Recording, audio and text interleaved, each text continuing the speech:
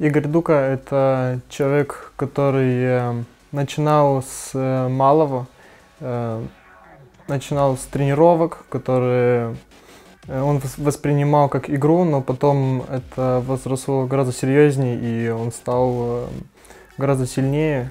И этот человек, он прошел очень много трудностей, поэтому про него много чего можно говорить, но я буду краток. Э, если я не был бы спортсменом, то я бы выбрал бы такую профессию, как э, пожарный либо медработник. Э, в другой жизни я думаю, что я бы был бы львом. Хотел бы, во-первых, иметь суперспособность такую, как возвращаться обратно и исправлять свои ошибки.